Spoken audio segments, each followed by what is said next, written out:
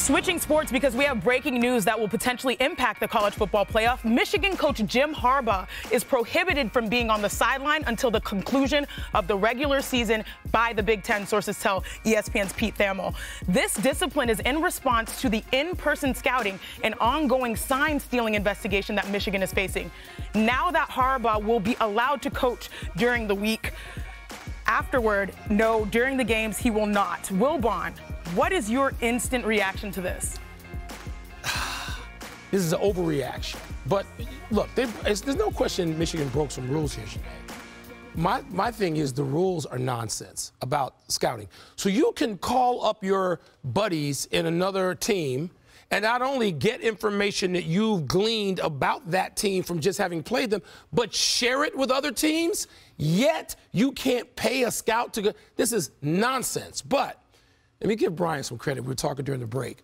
Michigan has never been a sympathetic entity. You're talking to a Buckeye here. And you, are talking, to, you're talking to a, a, Buckeye and a Big Ten, a Big Ten guy, and I, I am against this. But this is going to drive Jim Harbaugh out of He's college been football. Suspended for six of the games this year. Yes. But Michigan's still the, probably the best team in the Big Ten. And Michigan's the only chance that the Big Ten has of winning the college football playoff this year. So really, so the Big Ten is going to cut off its nose to spite its face here.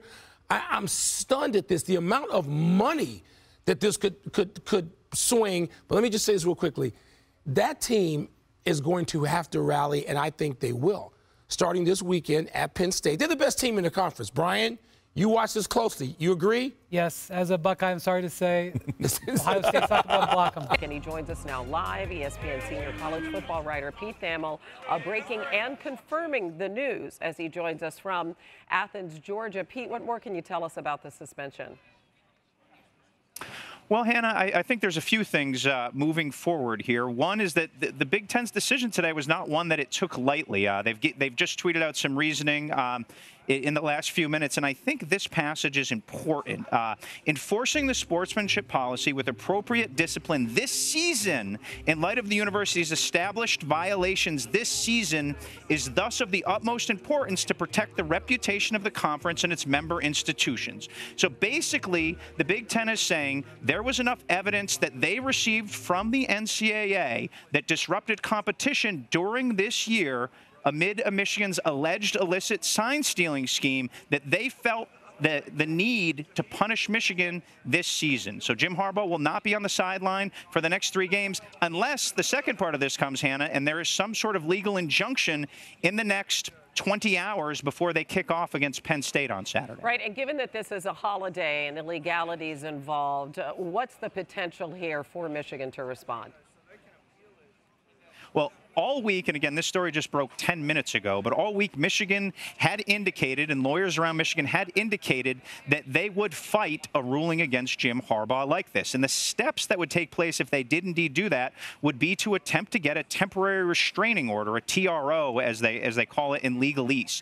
They are able to do that, at least get a hearing for it on Veterans Day, even though the courts are closed. They're expected to go to the Washtenaw, I believe, I may be mispronouncing that, county court, uh, state Circuit Courthouse in Ann Arbor. That's the expected venue. Uh, Nebraska actually sued the Big Ten. Eight players did in 2020 when they canceled the season. They went to a local court as well, so that may be instructive for the plan of how Michigan moves forward in this. Uh, but yeah, there is still uh, this is obviously huge news, Hannah, but there still could be more huge huge news because it's unknown whether Jim Harbaugh will be on that sideline in State College, and that's going to ultimately be determined by a judge. We did see a little while ago he did board that bus with his team to begin that journey. Uh, so we don't know at what point uh, we will have any further news on this. Uh, we'll keep it posted with you. Penn State, then that's followed by a game at Maryland. And of course, uh, OSU is at Ann Arbor at the end of the season. Pete Thamel, thank you. Quickly, Jen, we go from the sideline to the courts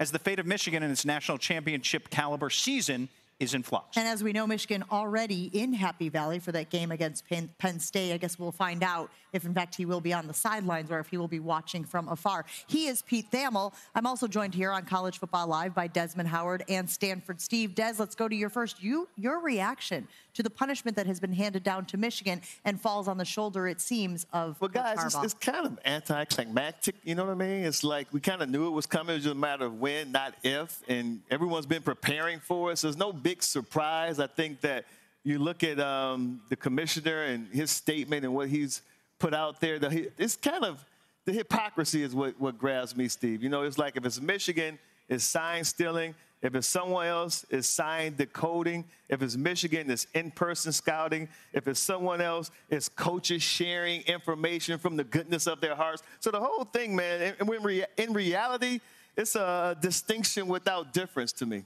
I look at the timing the timing of what when and this happened. As a player, you know when you get our itinerary for the week, you know exactly when that plane is to leave to go play 100%. that game, right? Yeah. Somebody had to know when that plane was leaving. Right. And then Pete, correct me if I'm wrong, they got the news when they were on the plane headed to Penn State. Seemingly, I'm not sure how long the flight is. I was told they were wheels up around three, and I think we that, broke the story around 3:40. And, and that's that's what I look at. Is it's, it's you knew what what the possibilities were, and you waited till that time. And then as far as the suspension, yeah, I think it is too harsh. I, I, do. And and when you look at it and what's at stake, and like you said, everybody knew something was coming, but the timing of it all yeah. is what really, really bothers me. Is there any distinction, however, as Pete mentioned, Des, you have played this game obviously, with a coach being on the sideline, not being on the sideline rather, but being able to coach his team throughout the week? So when J.J. McCarthy threw three interceptions um, against Bowling Green mm-hmm. State, mm-hmm. I told my son, you got to understand, head coaches make their money on Saturday. That's when they add the most value to a team. So to answer your question, to pull him off the sidelines for the Penn State game, for the Maryland game, and for the Ohio State game, it's um, it's it's a shot at the players. It really is. So my, I'm just so disappointed. I feel for the players. Like these kids work, they work their butt off. You're a former player. You yep. understand exactly what it is. They don't deserve this. I did get up earlier this morning with um, Greg McElroy, and he came up with a, a, a, a punishment that would not punish the players in the process, but you still can punish Jim Harbaugh in the program. So my, that's my heart just goes out to the players. They've been dealing with so much from the beginning of the season when the NCAA came after him for we all know it was a level two violation. Yeah. Which is a slap on the wrist. They didn't like the way Harbaugh dealt with them. So they said, damn it, because we got the authority, we're going to bump it up to a level one, and we want you to get four games. So then they had to lose him for three games for that. And now at the end of the season, they, they have to lose him for another three games? How can you not feel for those student athletes, those players who've put everything into this season. They're one of the best teams in the country right now. And they have to deal with this type of mess. So, a couple points of clarification for Steve on the timing. Michigan was initially given until Tuesday to respond. They asked for an extra day until Wednesday. They gave long, lengthy legal responses, and the Big Ten, if you read the 13-page document, had to take their time. You just can't you just can't take a 10-page yeah. response and then Harbaugh's response and do it right away. So that's a little bit of an explanation of the timing. And then Desmond mentioned the other Big Ten schools that were in some sort of sign, as you said, decoding scheme. And the Big Ten addressed that very specifically, Desmond. They said oh, he's, he's the university the also argues that because, because Michigan believes that others are engaged in decoding signs, there must be nothing wrong with the university's activities. In addition to impermissible activities of others being currently unsupported by facts, the university's culpability is not dependent on the actions of they other said institutions. it wasn't supported by facts? Correct. I thought Michigan had well, receipts. They, okay, they are saying we, we, we, can't go back and forth. Have, I got my laptop. Yeah, well, they have. I, am at a disadvantage. But I got the, the, gun. I got the, the, knife. The language here, and then this is like vetted legal language. This yeah, exactly. Yeah. They say the scheme occurred, and just because Michigan offered procedural and technical arguments designed to delay accountability doesn't mean they should. So essentially, yeah. they are saying this isn't an alleged scheme. Right. This happened. and they have NCAA documents to prove it. And they think Michigan got a schematic advantage. The players, as you said, got a schematic advantage early this year. Yeah. So the Big Ten's rationale is that Michigan should be punished in some way, and they feel like the fair way. I was told throughout this process the players would not be harmed. Yeah, Players well, wouldn't they're be suspended. definitely They wouldn't. and they just wouldn't gave Penn games. State a schematic advantage too. Well, I mean, that's, gave- that- I mean, that's that's exactly they the point, yeah, Desmond. exactly what they did. Michigan had one from Connor No. Stalions, Yeah. and now Penn State has one uh, with, with, without Oh, so Jim that's Harbaugh. how we doing it. unless, in, yeah, I mean, it's a punishment okay. for the crime. Uh, Coach Mark Stoops literally just joins us from practice. Coach, it's always great to see you. Appreciate it. I, and I, I do not intend to, to quiz you uh, on the specificity of the Harbaugh situation, but I am curious about something. Um, this is a funny question being asking a head coach. Yeah. They're rem- the head coach being removed from the actual game, but having prepared the team all week. Um, impact. Definitely, uh, definitely an impact. I think uh, the nice thing that Michigan has going for them is they have such a strong team. They have great coaches. Uh, you know, Coach Harbaugh, I'm sure, has done a remarkable job leading them, and, and I'm sure that team will go fight for him. You know, because uh, those players have done nothing wrong. I don't know the ins and out of that. Um, you know, I think for their sake. Uh, just hearing what you had to say right there, it'll be good to get that over with, move it, you know, move past it. I know that team has big aspirations. They've done a remarkable job. So, in a way, hopefully, uh, you know, they'll serve that uh, suspension and move past it. Not, not to lessen the importance of a head coach. I mean, those of us in the media, we obsess on head coaches. Sure. Um, but is preparation? I mean, I know there are many things that happen during a game, but but the, w- w- would you weigh the preparation, the game plan, the execution to the the actual start uh, in terms of h- how important that is versus what happens once you get there? I would. Yeah, I would say if you had to put it one or the other, I think the week of preparation, the messaging, the team being right and being prepared um, and ready for those situations, uh, you know, would be the most important. I mean, obviously, you know, there's there's game time decisions, and hey, we're not always right, you know. And, and people always ask me in hindsight, would you do it different? I'd be like, heck yeah, I would. You know, if I knew the knew the outcome. But uh, you know, I'm sure they're going to be prepared and ready to go. And it, it is. I will say this: if it came down and he didn't know it, and it, and it and it would hit me like right now, walking off the practice field on a Friday right before a game, that is definitely something you have to adjust to. And, I, and I, I, I apologize for obsessing over this, but I, but I'm so interested in, in your perspective. I mean, he, he is literally on a plane. He's about to land. It's only the biggest game of the year for them. They'll have Who a do they- bigger who one. do they play? I They're Penn, uh, Penn State. Oh, yeah, that is a big deal. Yeah, that that that's uh, that's different. I mean, we haven't seen that. No. Any anything like this? You've been covering it for a Never. long time. No, that's uh, you know, for me, just hearing it. I mean, yeah, that's shocking. That would be that would be tough. while they were flying to Penn State, wearing shirts that said Michigan versus everybody. This has turned into a drama on top of a soap opera, on top of so many things, Courtney Cronin. How does it all land for you?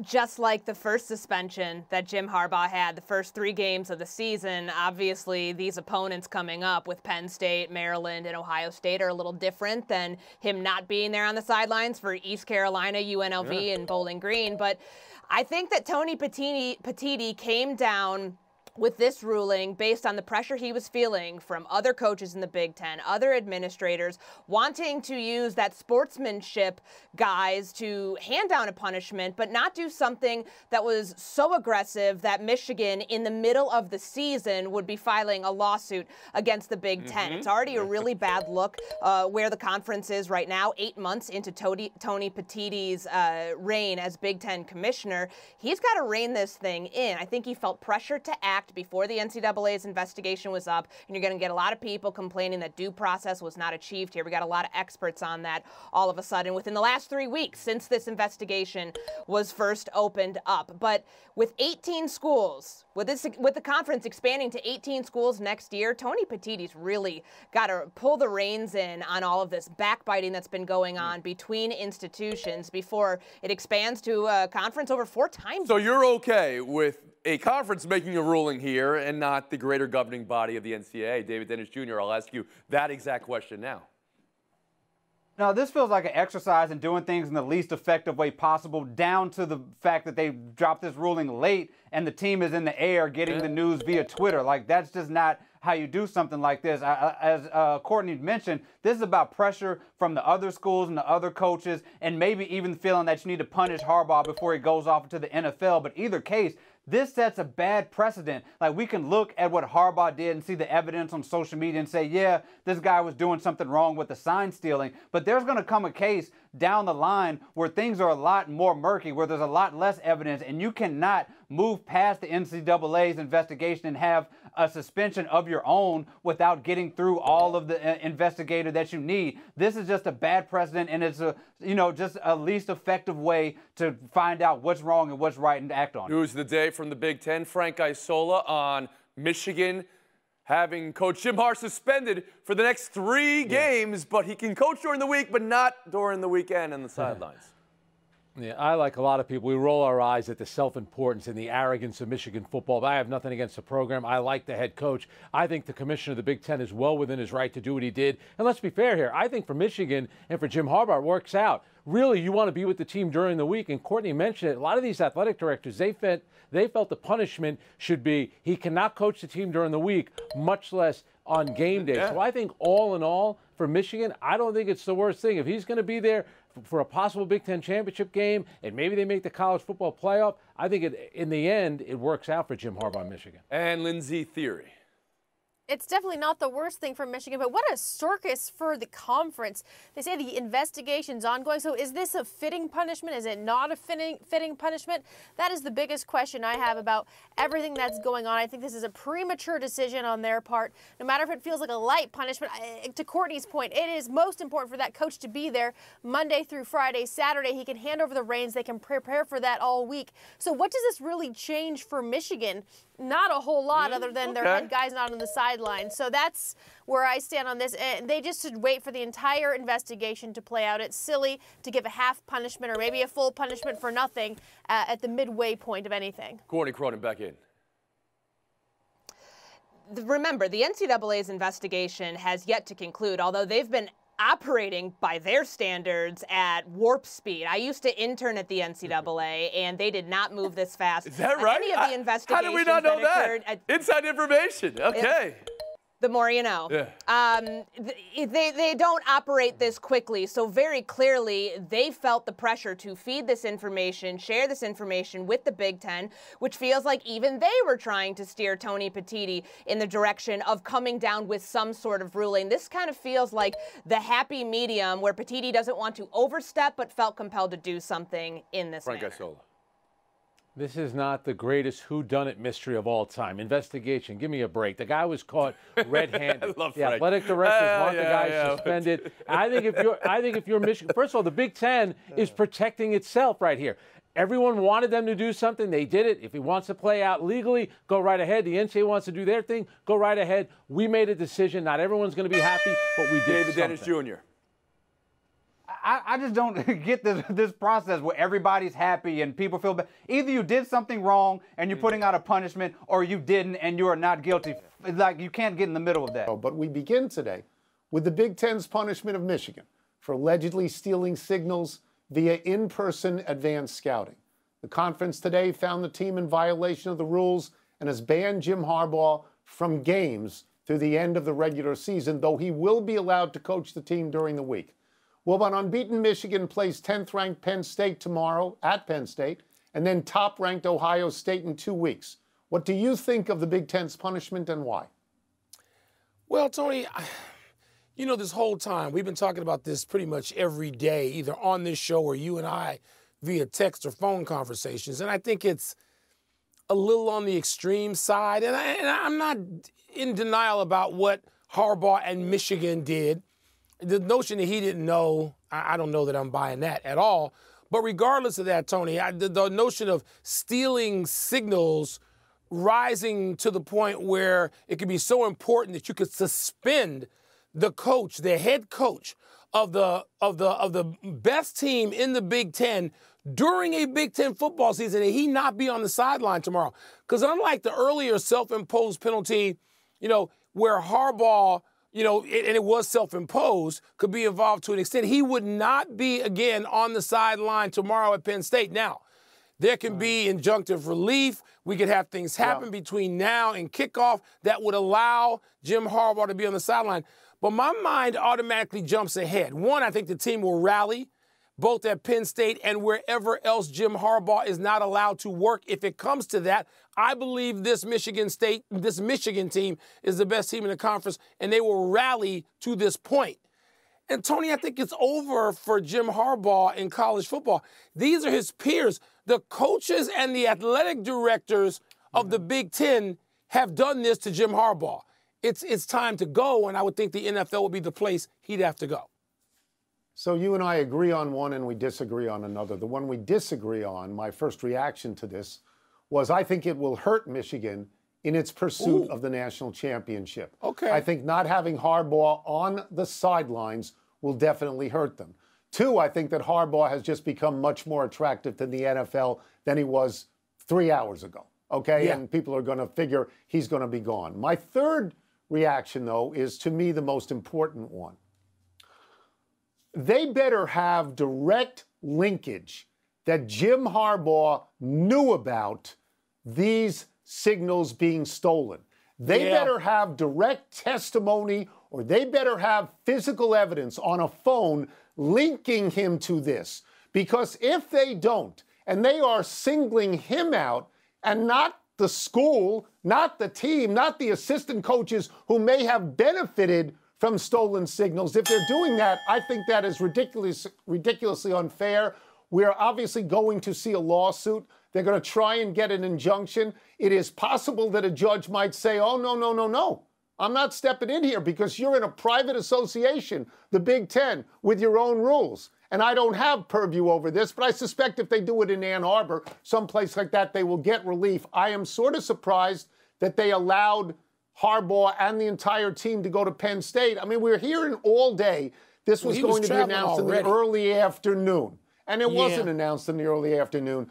It's the meat of the story now, and I appreciate that part. But unlike you, Mike, I- think it hurts them for the national championship. I do. I, Tony, Tony, maybe, maybe it will. I, I'm, I, again, I'm not looking all the way to the national championship. I think it, it will be fine for them at Penn State. I think they will rally and Yeah. beat the daylights out of Penn State. I think they could beat Ohio State the same way. They're better in the games in Ann Arbor. Now, I'm not Maybe. going beyond that. Look, I don't know what the CFP they've been better than every other like team. and what that will bring. When this story broke, they played 2 Mhm. games since. They beat Michigan State 49 Well, nothing. They beat Purdue 41 13. So they haven't they haven't been hurt by the deliberate leaks that we have Not seen. Not yet. Not yet. Yeah.